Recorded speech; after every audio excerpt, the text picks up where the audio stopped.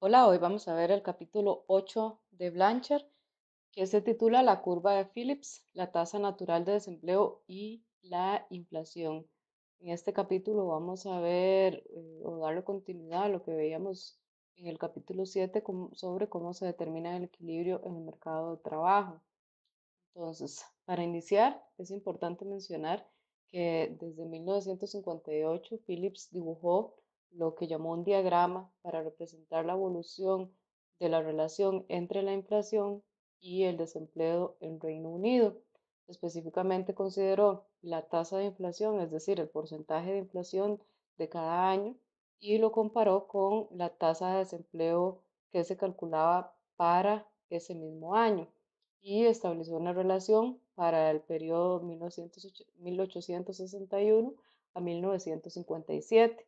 Una vez que realizó esta comparación, encontró pruebas de que había una relación negativa entre estas dos variables. ¿Y qué encontró entonces? Que entre más bajo era el nivel de desempleo, más alta iba a ser la inflación, es decir, hay una relación inversa y por tanto, cuando el desempleo era muy alto, la inflación era baja e incluso en algunos momentos era negativa. En 1960, Samuelson y Solow realizaron ese mismo ejercicio, pero para Estados Unidos, y utilizaron el periodo de análisis de 1900 a 1960 y encontraron el mismo resultado, es decir, una relación negativa entre la tasa de inflación y la tasa de desempleo. Y esto se observa en la siguiente gráfica, que sería la evolución o la comparación para los diferentes años. Cada uno de estos puntos va a representar un año eh, y desde 1931 a 1939. Y en este caso se observa que hay una relación eh, inversa donde entre más alta sea la tasa de desempleo, por lo general, eh, más alta sea la tasa, o más bien, entre más baja sea la tasa de desempleo, más altos son los niveles de inflación. Y entre más alta sea la tasa de desempleo, más bajo es el nivel de inflación. Incluso se observa periodos donde la tasa de inflación es negativa. Entonces lo que encuentran Solow y Samuelson es esa aparente relación negativa entre la tasa de inflación y el nivel de desempleo o tasa de desempleo. Y esta relación, estos dos economistas la llamaron la curva de Phillips. Ahora bien, dentro de la política económica, una vez encontrada esta relación inversa o negativa entre estas dos variables, lo que decían era, bueno, un gobierno puede elegir entre eh, distintas combinaciones de desempleo e inflación, sea en, si decide mantener niveles de desempleo muy bajos, tiene que sacrificar un mayor nivel de inflación o viceversa. O adicionalmente dice, podrían alcanzar una estabilidad de precios, de precios, es decir, una inflación nula, si estaban dispuestos a tolerar, a tolerar un desempleo más alto. Entonces ahí es lo que se menciona, que tenía que haber un trade-off entre eh, inflación o desempleo, o querían más inflación o querían más desempleo. Y en este caso se, eh, digamos, funcionó así para eh, este periodo, incluso hasta 1970. Pero ¿qué pasa en 1970 o en la década de 1970? Se da que hay un rompimiento entre esa relación negativa entre inflación y desempleo. En Estados Unidos y países miembros de la OCDE se produjo simultáneamente una elevada inflación y un elevado desempleo. Y entonces aquí se da una relación positiva, ya no la relación negativa que se había determinado en la curva de Phillips original. Recordemos, la curva de Phillips original me da una relación entre tasa de desempleo y tasa de inflación. Entonces, lo que se dio es que perdió relevancia entonces esta curva de Phillips y se da ahora entonces una nueva relación, ya no entre la tasa de desempleo y la tasa de inflación, sino entre la tasa de desempleo y la variación de la tasa de inflación. ¿Qué significa esto? Entre un año a otro, si la inflación del año pasado fue de un 2% y la de este año es un 3%, la variación de la tasa de inflación sería un punto porcentual. Entonces, esta nueva relación de la curva de Phillips lo que va a analizar es ese, esa, esa vinculación entre tasa de desempleo y la variación de la tasa de inflación. Entonces, la curva de Phillips original lo que dice es, o lo que tenemos en el eje Y, es la inflación o el porcentaje de inflación. En la nueva curva de Phillips lo que vamos a tener es la variación en la tasa de inflación. En el eje X se mantiene el, eh, la variable porcentaje de desempleo o, en otras palabras, la tasa de desempleo abierto.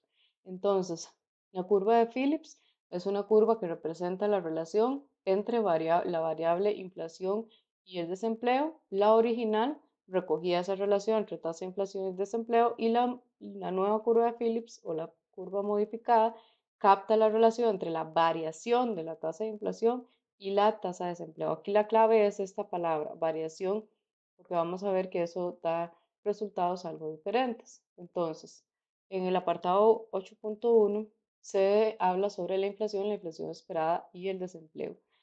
La ecuación que habíamos examinado en el capítulo anterior, que era la ecuación para la determinación de los salarios, veíamos que el salario nominal estaba en función de la inflación esperada y en función inversa de la tasa de desempleo y una variable en función directa de una variable z, que es la que incluye todas esas eh, cuestiones adicionales que afectan en la determinación de los salarios, como cuáles habíamos hablado de prestaciones, salarios mínimos, por ejemplo.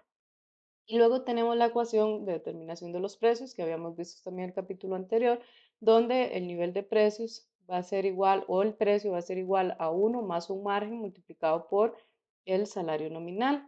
Entonces, en, este caso vamos a ver eh, cómo, más bien vimos en el capítulo 7 eh, que se asumió que el nivel efectivo de precios va a ser igual al nivel esperado de precios, es decir, P va a ser igual a PE.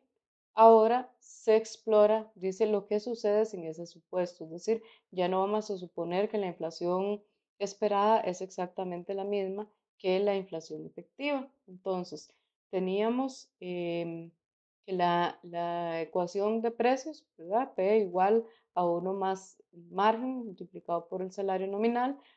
teníamos que el salario nominal se iba a determinar por la eh, inflación esperada la tasa de desempleo y Z. Entonces, ¿qué hacemos aquí? Vamos a, utilizar P, la función P, 1 más M, pero en lugar de utilizar W, vamos a, utilizar la fórmula completa de W. Entonces vamos a agregar PE y la función de tasa de desempleo y la variable Z. Entonces, vamos a tener que un aumento del nivel esperado de precios va a provocar una subida de los salarios nominales que a su vez induce a las empresas a subir los precios, lo que conlleva a un aumento en el nivel de precios. Entonces recordemos, si aumenta el nivel de precios, el nivel esperado de precios, es decir, nosotros esperamos que la inflación de este año sea más alta. Eso significa que los trabajadores van a reclamar salarios más altos.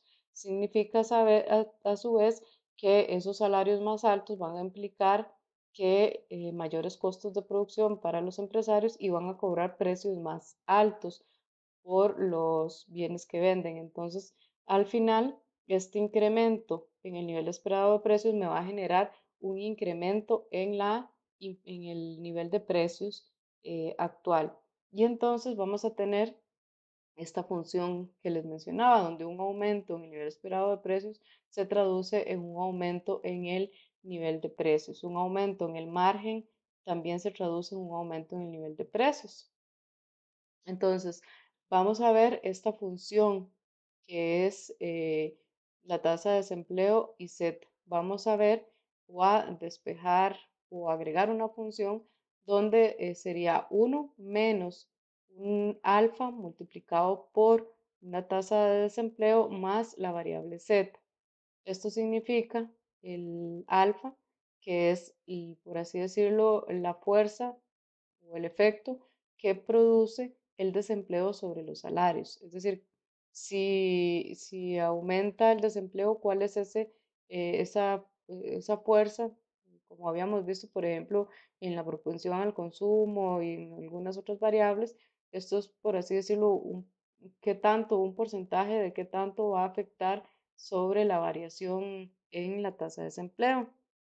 Entonces, en este caso vamos a ver que un aumento de la tasa de desempleo, en este caso el aumento de U, va a provocar una reducción de los salarios nominales. Recordemos que entre más alto sea el nivel de desempleo, más bajos serían los salarios nominales, lo que a su vez conlleva precios más bajos y una caída en el nivel de precios. Entonces vamos a tener una relación inversa. Aumenta el desempleo se reducen los salarios, se reducen los costos para las empresas, se reduce el nivel de precio, entonces se mantiene esta relación inversa. Ahora, ¿qué nos dice entonces esta función? Dice, cuanto más alta es la tasa de desempleo, más bajo es el salario nominal. Cuanto más alto es el valor de Z, eh, es decir, cuando más generosas son, por ejemplo, estas prestaciones de desempleo o los salarios mínimos, más alto será el salario nominal. Es decir, tenemos una relación directa con el salario nominal y una relación inversa con la tasa de desempleo. Entonces, ahora en lugar de utilizar esta función, lo que vamos a sustituir es esta y vamos a incorporar esta otra. 1 menos alfa eh, por u más z. Ahora bien, entonces esta sería la ecuación punto 1. Esta ecuación 8.1 lo que nos muestra es entonces esa relación entre el nivel de precios y el nivel esperado de precios y la tasa de desempleo. Es decir, ya aquí vamos a incorporar la, la relación entre tasa de desempleo y cómo va a afectar cada una de estas variables. Entonces tenemos un aumento en la inflación esperada, me genera un aumento en los precios, un aumento en M o en el margen nos genera un aumento en los precios, ceteris paribus, ¿verdad? Todo lo más constante. Esta tiene una relación inversa, ¿verdad? El, la tasa de desempleo, entonces un aumento en la tasa de desempleo tiene una relación de una reducción en los precios y un aumento en Z provoca un aumento en los precios. Ahora bien, a partir de esta ecuación se deriva la ecuación siguiente, que entonces vamos a, a ver, dice a partir de la ecuación 8.1 se deriva una relación entre inflación, la inflación esperada y la tasa de desempleo. Entonces, lo que se hace es despejar esta, esta ecuación. El detalle se encuentra en el apéndice del capítulo 8 eh, de Blanchard, si quieren revisar cómo pasamos de esta a esta. Pero entonces aquí lo que nos interesa es lo siguiente. Esto es un nivel de precio. Recuerden que nivel de precios no es lo mismo que inflación. La inflación va a ser la variación en el nivel de precios. Es decir, si el nivel de precios era, eh, recuerden que lo que calculamos es un índice de precios.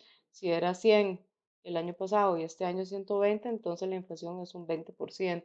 Este pi lo que nos va a reflejar es el porcentaje de inflación, es decir, la variación en el nivel de precios. Y pi e significa la inflación esperada. Entonces, la inflación eh, va a ser igual a la inflación esperada más un margen más z, que serían todas las variables adicionales que explican la fijación de salarios, menos un porcentaje del desempleo. Es decir, vamos a tener una un eh, efecto negativo o inverso de la tasa de desempleo sobre la eh, inflación. Entonces, ¿qué nos dice esta ecuación? Dice un aumento de la inflación esperada, o sea, un aumento de pie provoca un aumento de la inflación efectiva en la misma cuantía. Si este aumenta dos puntos porcentuales, la inflación también aumenta dos puntos porcentuales. Dice, dada la inflación esperada, si mantenemos la inflación esperada constante, un aumento de M o un aumento de Z provoca un aumento en la inflación efectiva. La, eh, dada la inflación esperada, manteniendo esta constante, una reducción de la tasa de desempleo provoca un aumento de la inflación efectiva. Recordemos entonces, entre más baja sea la tasa de desempleo, más alto es la, eh, el nivel de precios o más altos son los salarios y entonces se provoca un, incremento mayor en la inflación. Entonces, em, dice acá, se requiere de índices temporales para referirnos a las variables como la inflación y el desempleo. Por ello se coloca una letra T como subíndice. Las variables M y Z se mantienen constantes, o se suponen constantes.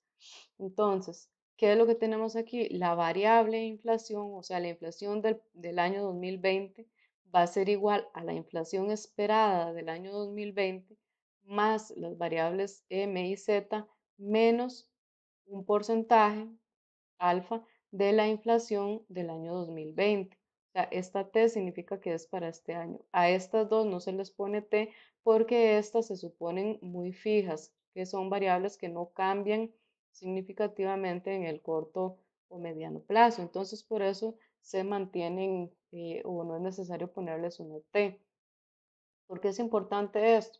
Vamos a ver eh, cuáles son esas mutaciones de la curva de Phillips, es decir, cuál es la versión original de la curva de Phillips y cómo se vino transformando para generarse la nueva curva de Phillips o la curva de Phillips modificada.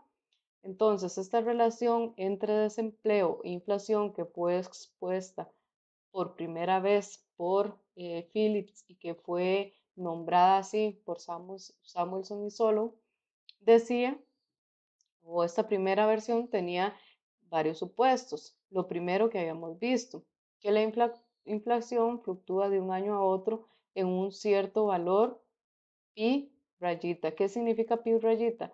Que es una inflación, por así decirlo, eh, la inflación promedio de mediano plazo, que no es una inflación que dependa de la inflación pasada, ni dependa de, otras eh, variables eh, subjetivas, sino más bien es, bueno, en los últimos años, qué sé yo, la inflación ha sido un 5%, entonces se va a mantener en un 5%, casi que fija. Recordemos que esa rayita arriba significa que se mantiene, que se mantiene fija. Entonces, dice aquí, la inflación no va a ser persistente. ¿Qué significa que no es persistente? que no necesariamente porque el año pasado haya habido una inflación de un 8%, significa que yo o los consumidores o, la, la, población vaya a esperar que la inflación sea igual de alta. Es decir, cuando uno considera que la inflación es persistente es porque dice, bueno, sí, el año pasado fue 8, el año antepasado fue 8.5, sí, definitivamente este año va a ser un 8 y resto. Cuando decimos que no es persistente, es bueno, el año pasado fue un 8, pero no, este año puede ser de un 2 o 3%, porque históricamente eh, o en los últimos años ha sido así, el año pasado fue atípico, etc. Entonces, no había esa relación de persistencia en, la versión original de, de, de Philips. Perdón. Y entonces tenemos que esta variable pi, en lugar de tener la inflación esperada, vamos a tener una inflación prácticamente fija, que sería el promedio eh, de, histórico. Entonces, los encargados de fijar los salarios pueden suponer que independientemente de la inflación del año pasado, la inflación de este año simplemente será igual a una inflación X, es decir, lo que mencionaba, independientemente si el año pasado la inflación fue 8, los eh, encargados de fijar los salarios esperan que la inflación de este año sea el 3%, que es la meta del Banco Central, por ejemplo. Entonces, se observa una relación negativa entre el desempleo y la inflación, en este caso, pero la inflación esperada no depende de la inflación del año anterior, como si lo suponía el, eh, el modelo modificado. Entonces, la aparente disyuntiva que había entre inflación y desempleo, en, más bien, la economía de Estados Unidos, en este caso, ascendió por la curva de Phillips del 1961 hasta 1969, es decir, comenzó a sacrificar eh, inflación a cambio de reducir el desempleo. Entonces aquí se muestra una relación inversa que hay entre más bajo iba siendo el nivel de desempleo, más alto iba siendo el nivel de inflación. Entonces, esta relación inversa entre el desempleo y la inflación se cumplió, pero hasta 1969. ¿Y qué pasó en los años siguientes? Entonces, lo que se muestra es esto. A partir de 1970, y hasta el 2014 que analizó Blanchard cuando realizó este libro, encontró que en realidad aquí no hay ninguna relación. Ustedes ven aquí hay una clara relación inversa, pero aquí los, hay una dispersión total, no hay una clara relación, hay niveles o tasas de desempleo altas con niveles de inflación hasta en este caso negativas o tasas de desempleo altas con elevadas tasas de inflación, etcétera. Entonces ya aquí no hay una relación visible entre esa tasa de desempleo y la tasa de inflación. Recuerda que aquí estamos en la curva original, la tasa de inflación en el eje Y. ¿Por qué desapareció entonces esa curva de Phillips original? ¿Por qué se perdió esa relación entre tasa de desempleo y la inflación? Bueno, lo que se indica es que los encargados de fijar los salarios modificaron la forma en que forman las expectativas y esa modificación obedeció en un cambio en el comportamiento de la inflación. Se dice que esa tasa de inflación se hizo más persistente, entonces la gente suponía que si era alta un año, lo más probable es que también fuera alta el año siguiente. Y como consecuencia, el público comenzó a formar sus expectativas teniendo en cuenta esa persistencia de la inflación. Este cambio en la formación de las expectativas alteró la naturaleza de la relación entre desempleo e inflación. Suponga que las expectativas de inflación se forman de acuerdo con la siguiente ecuación, es decir, la inflación esperada o la expectativa de inflación va a ser igual a 1 menos cita o teta, ¿verdad? Como le llaman a esta variable, eh, multiplicado por la inflación, digamos, eh, promedio de, de la economía, más la variable cita por la inflación del eh, año anterior. ¿Qué significa esto? Dice, la inflación esperada para este año depende en parte de un valor pi constante, ¿verdad? Con ponderación 1 menos cita y en parte de la inflación del año pasado con ponderación 1 menos, eh, menos cita. ¿Qué significa esto? Por ejemplo, si esta tiene un valor de 0,4, por ejemplo, el 40%, entonces esta sería 1 menos 0,4, sería 0,6, o sea, tendría más peso la variable eh, o la parte de la ecuación más fija y menos peso la eh, inflación persistente, es decir, la inflación del año anterior.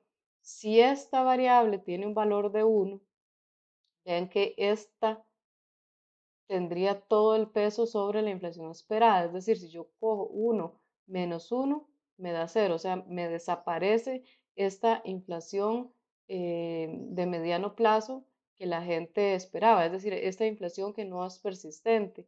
Y la inflación del año pasado tendría todo el peso. Es decir, la expectativa de inflación se formaría tomando en cuenta el 100% de la inflación que pasó el año pasado. Entre, entonces, y si esta fuera cero, esta variable fuera cero, entonces la inflación del año pasado no influye para nada en las expectativas de inflación y más bien sería la inflación eh, no persistente la que va a determinar la inflación esperada. Entonces, cuanto más alto es el valor de cita, más induce la inflación del año pasado a los trabajadores, que es lo que mencionaba, y las empresas a revisar sus expectativas sobre, sobre la inflación de este año, por lo que la tasa de, esperada de inflación es más alta. Se podría considerar entonces que lo que ocurrió en la década de 1970 fue un aumento en el valor de cita con respecto al tiempo. Es decir, antes tenía un valor prácticamente cero y ahora comenzó a adquirir valor y llegando prácticamente a uno. Entonces, vamos a ver, dice, durante el periodo analizado por Phillips y Samuelson, cita fue cercano a cero y las expectativas fueron aproximadamente la inflación esperada de este año sería igual a la inflación eh, no, no persistente este, estimada. Entonces la curva de Phillips era representada por la ecuación 8,4, que es la que vimos. La inflación va a ser igual a una inflación eh, determinada más, la, más m más z menos alfa por u. Entonces, cuando la inflación comenzó a ser más persistente, los trabajadores y las empresas empezaron a modificar esa forma de crear sus expectativas y empezaron a suponer que si la inflación del año pasado había sido alta, era muy probable que este año también lo fuera. Y entonces, a mediados de los 70, el público esperaba que la inflación de ese año fuera igual a la del año anterior. En otras palabras, ahora cita va a ser igual a 1, que es lo que les comentaba ahora. Entonces, ¿cuáles son esas consecuencias? Eh, ¿O qué, consecuencias tienen esos diferentes valores de cita? Dice, para ello se sustituye el valor de la inflación esperada en la ecuación 8.5, eh, más bien el, valor de la inflación esperada de la ecuación 8.5 en la ecuación 8.2. Entonces tenemos que la inflación esperada, o esta era la, la, la ecuación 8.2, donde tenemos acá la inflación esperada, y ya en lugar de poner este símbolo vamos a poner la ecuación de la inflación esperada.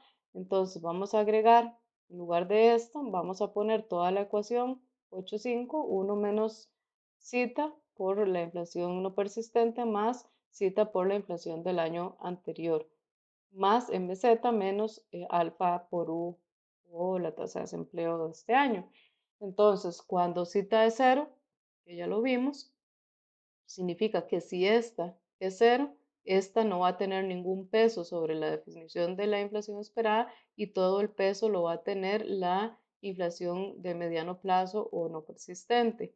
Si, eh, si cita es positiva, la tasa de inflación depende no solo de la tasa de desempleo, sino de la tasa de inflación del año anterior, es decir, está entre 0 y 1. Esta 1 menos cita más cita tiene que sumar 1 entre más alta sea cita, más peso tiene esta, entre más baja sea cita, más peso tiene esta.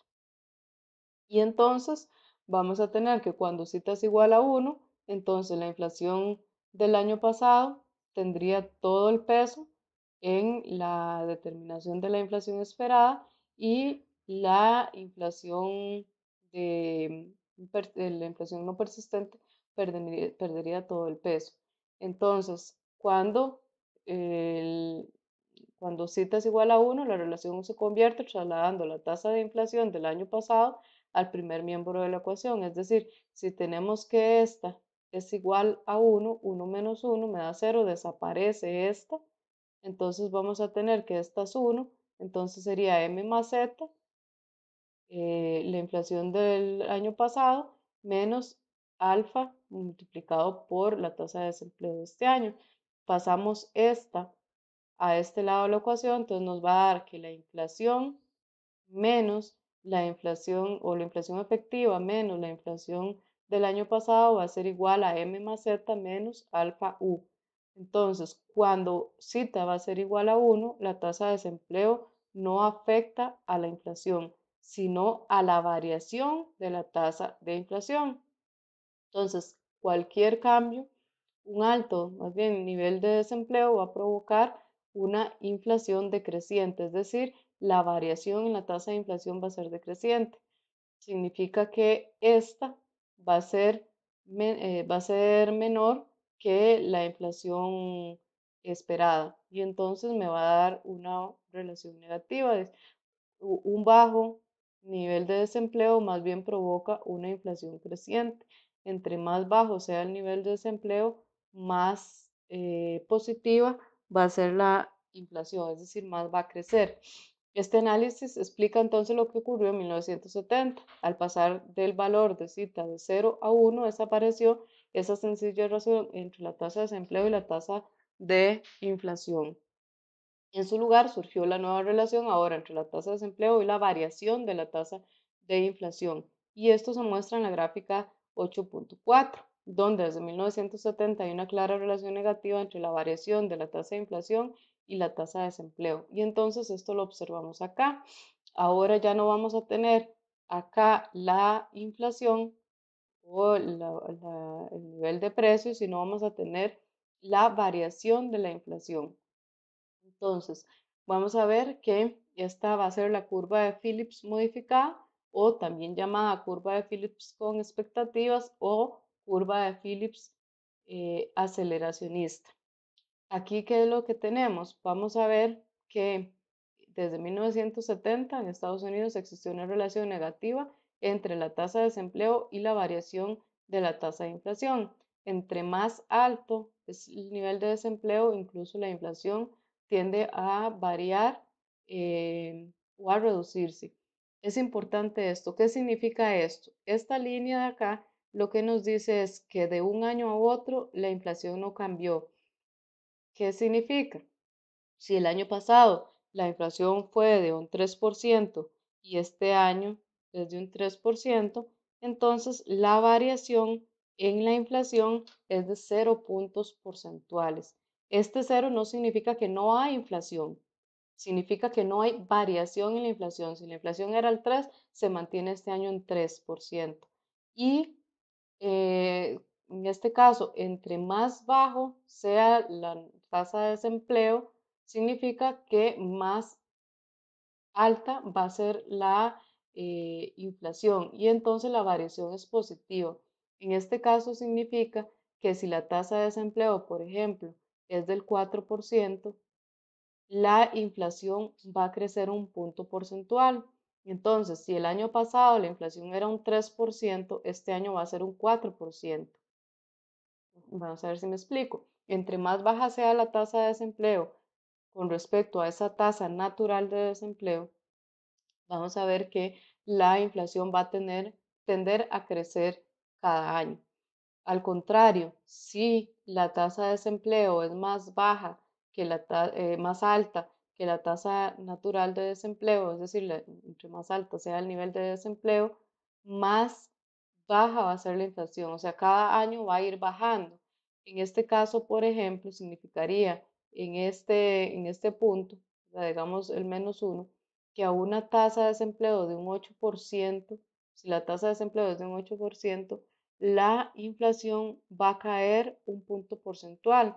Entonces, si este año la tasa de desempleo se aumenta, por ejemplo, de un 6 a un 8%, la tasa de inflación podría pasar de un 3 a un 2%. Es decir, hay una variación negativa en los precios. Vamos a verlo. Dice, la recta que mejor se ajusta a la nube puntos del periodo 1970 al 2014 es la siguiente, donde tenemos la variación en la tasa de inflación, que sería la inflación efectiva menos la inflación del año anterior va a ser igual a m, más z menos alfa u. Si en la ecuación lo que se encontró es que m más z es igual al 3% y el alfa va a ser igual a 0,5 multiplicado por la tasa de desempleo, para esto nosotros vamos a encontrar el término, en este caso, que, que la inflación esperada, o más bien estamos viendo que la inflación esperada es igual a la inflación pasada. Entonces, desde cuando el desempleo es bajo, la variación de la inflación va a ser negativa. Y cuando el desempleo es alto, la variación de la inflación va a ser eh, negativa. Entonces vamos a ver la curva de Phillips y la tasa natural de desempleo, es decir, cómo a partir de eso encontramos cuál es la tasa natural de desempleo. La curva de Phillips original explica que no existe una tasa natural de desempleo. Si las autoridades económicas están dispuestas a tolerar una tasa de inflación alta, podrían mantener indefinidamente una tasa de desempleo más baja. Durante la década de, los 60 parecía que tenían esta razón, ese trade-off que, tenían, que hacían entre inflación y desempleo. Como se mencionaba, a finales de los 60, Friedman y, Edmund Phelps eh, pusieron en duda esa existencia de una relación de este tipo entre el desempleo y la inflación.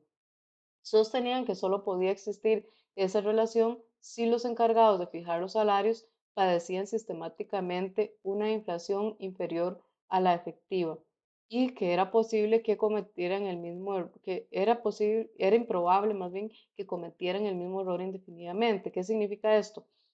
Esa inflación pi rayita arriba, que sería la no persistente, podrían decir, bueno, el año pasado la inflación fue de un 8%, como mencionaba, pero no, los agentes económicos esperan que la inflación de este año sea el 3% eh, que establece el Banco Central y confíen que sea el 3%.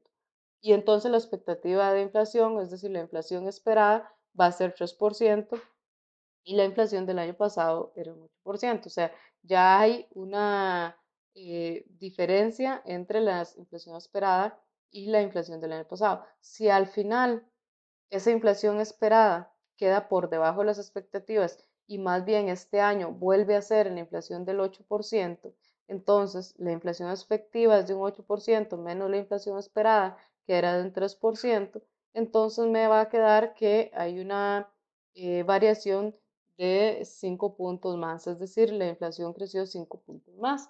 Entonces, ¿qué decían eh, estos economistas? Que era improbable que la gente el siguiente año volviera a asumir que la inflación es de un 3%, sabiendo que la del año pasado fue un 8 y la del año antepasado fue un 8. Entonces, por eso dice que era muy eh, improbable que la gente cometiera continuamente ese mismo error. También sostenían que si el gobierno intentaba mantener un desempleo más bajo, aceptando esa inflación más alta, la relación acabaría desapareciendo, es decir, que la tasa de desempleo no podría mantenerse por debajo de un nivel determinado que la llamaron tasa natural de desempleo. Entonces, dice, los hechos demostraron que tenían razón y la relación entre la tasa de desempleo y la tasa de inflación desapareció. Y actualmente la mayoría de economistas aceptan que hay una la noción de que hay una tasa natural de desempleo, aunque con muchas salvedades. Ahora bien, entonces tenemos esta conexión entre la curva de Phillips y la tasa natural de desempleo. La tasa natural de desempleo se le llama a aquella tasa de desempleo a la que el nivel efectivo de precios es igual al esperado de precios, es decir, la tasa natural de desempleo es el nivel de desempleo que se dé cuando la inflación esperada sea exactamente igual a la inflación efectiva, es decir, cuando pi sea igual a, o pi efectiva sea igual a pi e o a pi esperada. Entonces, también se le llama a la tasa de desempleo a la que la tasa efectiva de inflación es igual a la tasa eh, de inflación esperada. Se presenta entonces la tasa natural de desempleo por medio de una U, que sería la tasa de desempleo sub N, y esa N lo que nos dice es que es la tasa natural de desempleo. O sea, esa tasa natural de desempleo es aquella que no es aceleradora de la inflación. Si, la, si estamos ahorita en una tasa de natural de desempleo, qué sé yo, que sea del 4%, 6%, digamos, que sea el 6%, y la inflación del año pasado fue un 5% y la de este año es un 5%, significa que esa es la tasa natural de desempleo, es decir, a ese nivel de desempleo no hay inflación. No significa, más bien no hay variación en la inflación. No significa que no haya inflación, porque puede ser que la inflación se mantenga un 4%, se mantenga en el 6%, pero lo que significa es que entre un año a otro no hay inflación, no hay variación en esa inflación y entonces esa sería la tasa natural. Entonces, imponiendo ahora la condición de que la inflación efectiva y la esperada son iguales, entonces lo que hacemos es, en esta ecuación, trasladamos pie hacia la izquierda, entonces sería pi, eh, pi menos pi va a ser igual a m más z menos eh, alfa por u. Y si sabemos que pi menos pi es igual a 0, entonces sustituimos, ponemos un 0, 0 va a ser igual a m más z menos alfa por u. Y en este caso, con esta fórmula encontramos la tasa natural de desempleo. ¿Cómo lo hacemos? Despejamos eh, la tasa natural, o sea, tenemos esta ecuación, vamos a despejar esta un y lo que obtenemos es esta ecuación. un va a ser igual a m más z dividido entre alfa. Cuanto mayor sea el margen de precios m, entre mayor sea m, o cuando más altos sean los factores que afectan la fijación de salarios, o sea z, más alta es la tasa natural de desempleo. Entre más alto sea esto, mayor es la tasa natural de desempleo. Entonces, dice, expresemos la ecuación 8.3 así, que sería pi menos pi o inflación efectiva menos inflación esperada va a ser igual a menos alfa multiplicado por u eh, o de la tasa de desempleo actual menos que sería la tasa natural de desempleo o sea, la tasa de desempleo efectiva y la tasa natural de desempleo y sustituimos en este caso m más z eh, entre alfa. Dice, obsérvese en la ecuación 8.8, esta de arriba, que el cociente del segundo miembro es igual a un, o sea, un va a ser esto, por lo que podemos expresar la ecuación de esta forma. La variación en los precios, es decir, la variación entre la inflación efectiva menos la inflación esperada, va a ser igual a menos alfa multiplicado por U, que sería UT, que sería la inflación efectiva, menos la inflación, perdón, UT, que sería la tasa de desempleo efectiva, menos la tasa natural de desempleo. Esto es importante cuando vamos al siguiente capítulo, cuando vamos a encontrar la tasa eh, o el PIB potencial o la producción del PIB potencial. Entonces, si la tasa de inflación del año pasado recoge de una manera bastante aproximada la tasa de inflación esperada, entonces la ecuación se convierte al final en la variación, en este caso, de la inflación, la inflación efectiva menos la inflación esperada, va a ser igual a alfa multiplicado por U menos UN. O, en este caso, si la inflación del año pasado recoge esta inflación efectiva, es decir, si cita es igual a 1, recordemos, entonces al final es lo mismo decir inflación eh, efectiva menos la inflación del año anterior igual a menos alfa ut menos un. Entonces esta ecuación 8.10 es una importante relación por dos razones. Primero muestra la otra forma de concebir la curva de Phillips como una relación entre la tasa efectiva de desempleo y la tasa natural de desempleo y la variación de la inflación. La curva o la variación de la tasa de inflación depende de la diferencia entre la tasa efectiva de desempleo y la natural. Cuando la tasa efectiva de desempleo es superior a la natural, la tasa de inflación disminuye. Cuando es inferior, la tasa de inflación aumenta.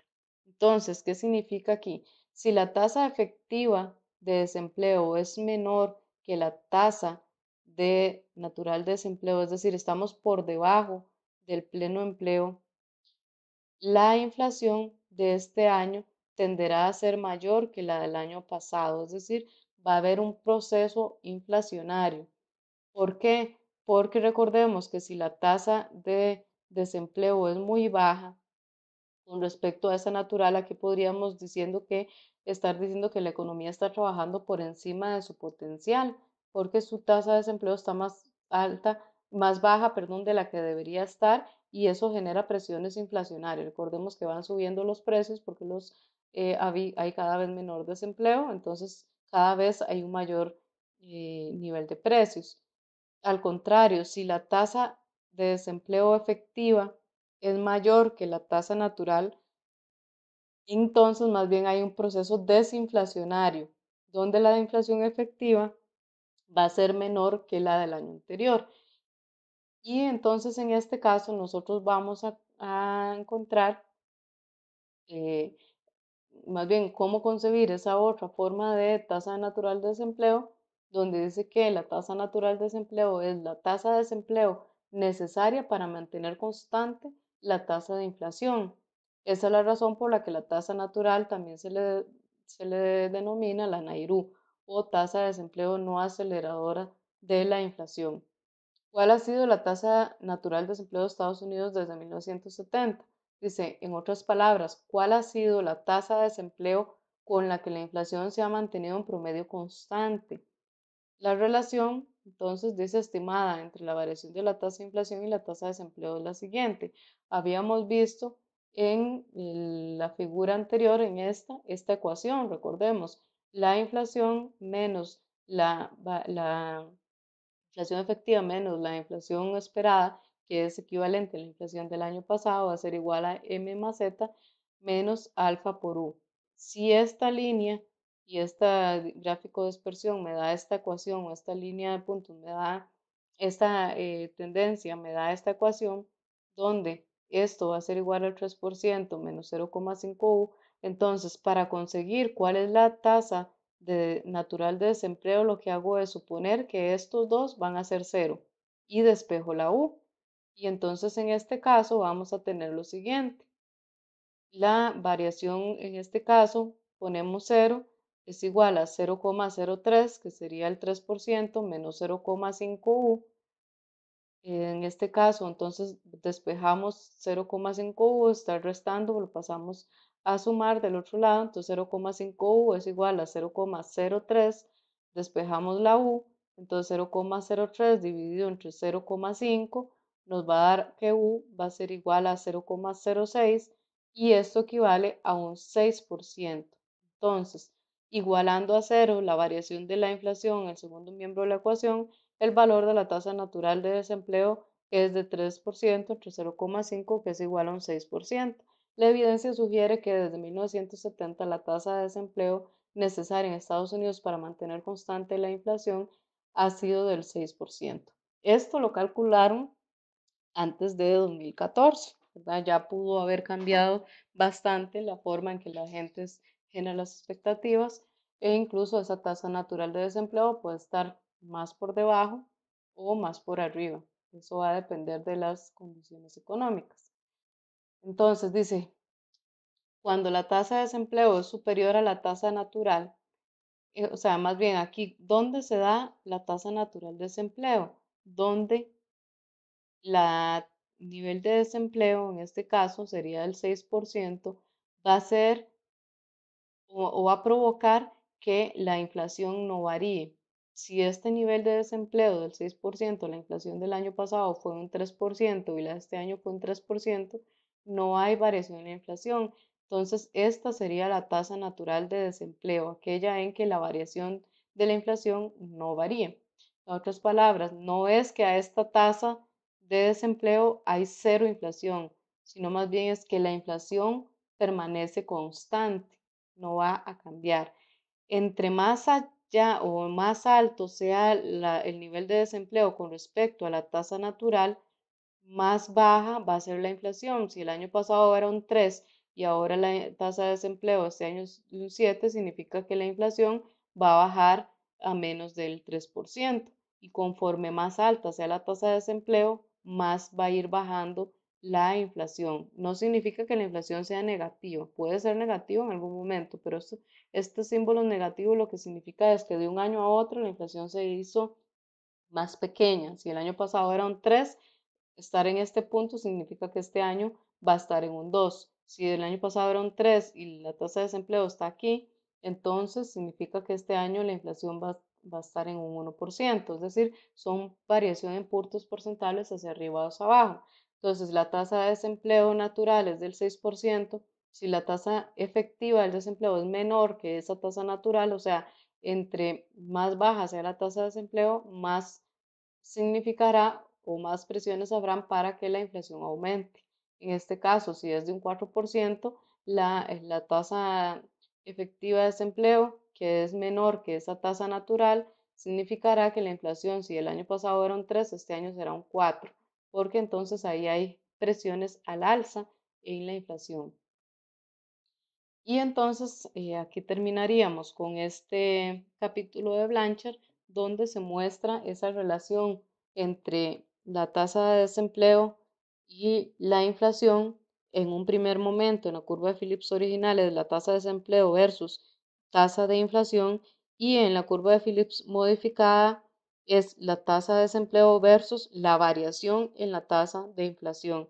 Entonces son dos nuevas, es una nueva forma de eh, analizar esta relación entre dos variables, pero que explican, eh, o más bien que indican que la variación en estas eh, formas de la curva de Phillips se debe principalmente a la forma en que las personas determinan sus expectativas de inflación entre más alta sea aquella variablecita, más tendrá peso la inflación persistente sobre la definición de la inflación esperada. Entre más baja sea la variablecita, más peso tendrá la inflación no persistente en la determinación de la inflación esperada.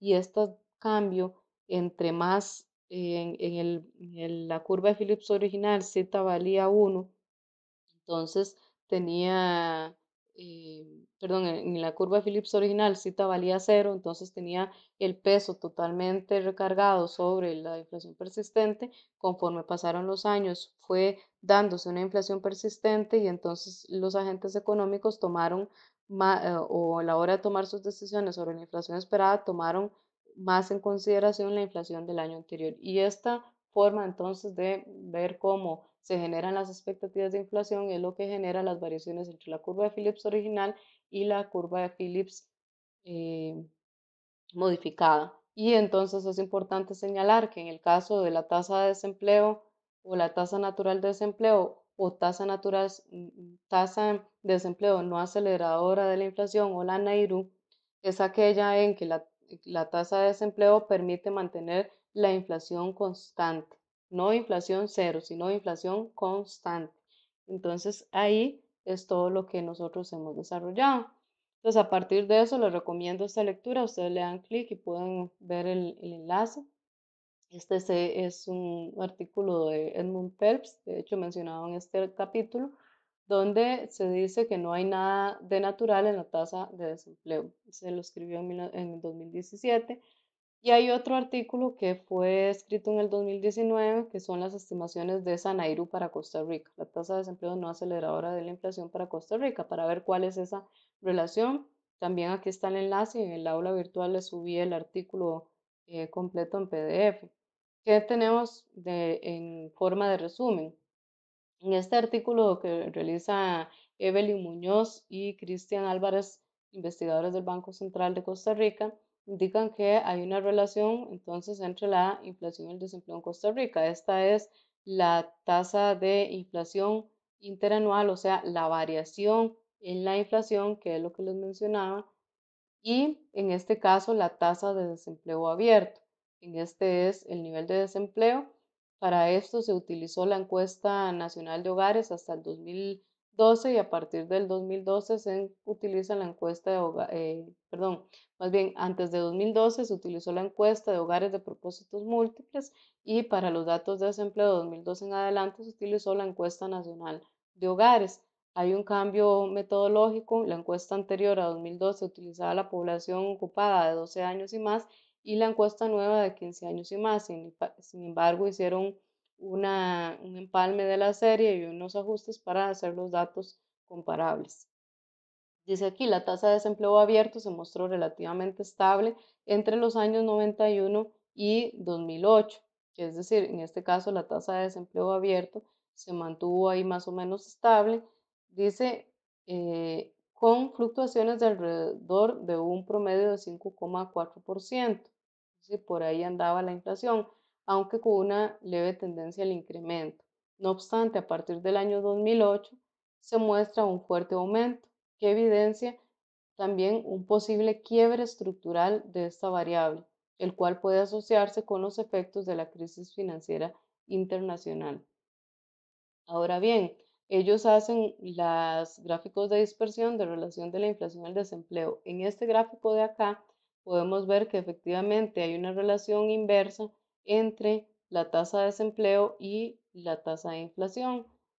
Y en este caso, lo que hace, esto fue para todo el periodo 91 al 2017, luego se analiza para el periodo 91 al 2009, es decir, se hace una, una eh, análisis para, para diversos eh, décadas. Entonces, entre el 91 y el 2009 hay una relación inversa, pero un poco menos, eh, menos clara, ¿verdad? Y en el caso del 2000 al 2017 hay una relación inversa mucho más clara entre el 91 y el 99 prácticamente se rompió esa relación inversa, más bien parecía una relación positiva. Entre 2000 y 2009 otra vez vuelve la relación inversa y entre 2010 y 2017 vuelve a romperse. Entonces, dependiendo de cuál década se analice, hay una relación más, más clara entre la inflación, entre la variación de la inflación y la tasa de desempleo y otras menos claras, pero como promedio en todo el, el periodo sí se da una relación inversa entre estas dos variables. Entonces dice, cuando se analiza la muestra total, la relación entre inflación y desempleo es negativa o inversa. Los gráficos 2.4, 2.5 y 2.6 muestran la relación entre la inflación y desempleo para cada una de las décadas comprendidas en el estudio. Como se puede concluir de estos gráficos, la relación negativa entre inflación y desempleo no se ha manifestado en todas las décadas. Durante los 90, que sería esta, y los últimos siete años, que sería esta otra, la relación entre ambas series pasó a ser ligeramente positiva. Y entonces en, este documento se calcula cuál es la Nairú para Costa Rica. Dice, desde el año 1991 hasta el 2010, la estimación puntual de la Nairú indica que la brecha de desempleo era negativa. A partir de ese último año, la brecha de desempleo es más bien positiva la mayor parte del tiempo, lo cual pudo haber contribuido al proceso de desinflación que ha experimentado la economía costarricense en estos años. Entonces, lo que eh, realizan el Banco Central es estimar una Nairu constante y luego estiman una Nairu variable para todo el periodo. ¿Cuál es la constante? La estiman en el 8%. Sin embargo, haciendo diferentes pruebas, el intervalo de esta Nairu puede estar entre el 3,9 y el 13,1, o sea, un intervalo muy, muy amplio. Y entonces, ¿qué es lo que dice aquí? Con una Nairu constante, con esta base, durante todo este periodo, es decir, del 91 hasta el 2010, prácticamente la tasa de desempleo abierto estaba por debajo de la Nairu, es decir, por debajo de la tasa de natural de desempleo. Es decir, el desempleo era más bajo de lo que debería ser y por eso generaba presiones inflacionarias. ¿Qué es lo que dice luego? La tasa de desempleo se ubica por encima de esta Nairu, es decir, la tasa de desempleo efectiva está siendo mayor que la tasa de desempleo natural y esto genera presiones hacia la baja en los precios, según lo que hemos venido analizando. En este gráfico de abajo lo que se muestra es esta Nairu roja, pero variable, no va a ser fija, pero sin embargo se observa que esta Nairu, esa tasa natural de desempleo con el paso del tiempo ha sido cada vez más alta y se replica el mismo resultado que antes de 2010, la tasa efectiva de desempleo estaba por encima de la tasa, eh, o más bien la tasa efectiva de desempleo está más bien por debajo de esa tasa natural de desempleo, generando presiones inflacionarias, y después del 2010 la tasa natural de desempleo está por debajo más bien eh, de la inflación, eh, de la tasa de desempleo efectiva. Cuando la tasa de desempleo efectiva está es más alta de la que debería ser, debería ser indicando que debería estar en la Nairu, entonces lo que genera son presiones para que los precios bajen. Recordemos que entre más eh, alto sea el nivel de desempleo, más posibilidades hay de que los niveles de, salarios bajen y entonces la presión hacia abajo en el nivel de precios y por tanto sobre la inflación. Entonces dice aquí, la Nairu se ha incrementado en Costa Rica en relación con los niveles observados a inicios de los años 90 aumento que se ha acentuado principalmente luego del año 2008. Y al igual que la Nairu constante, o sea, de esta Nairu, esta estimación de la variable, o sea, esta Nairu eh, variable, muestra una brecha de desempleo negativa hasta el 2009. Desde entonces ha pasado a ser positiva la mayor parte del tiempo, con excepción de 2013, que se manifestó una tasa efectiva de desempleo menor que la tasa natural de desempleo. Y entonces aquí terminaríamos con este capítulo. Muchas gracias.